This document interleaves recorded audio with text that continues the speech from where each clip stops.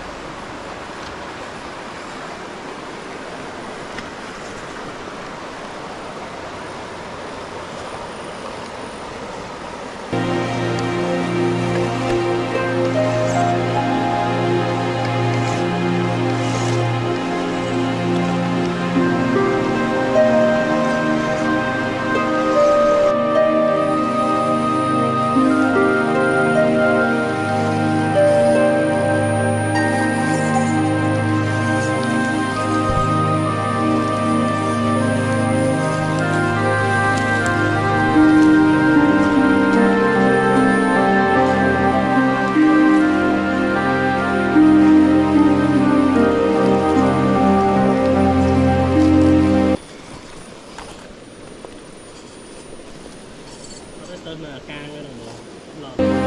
hồ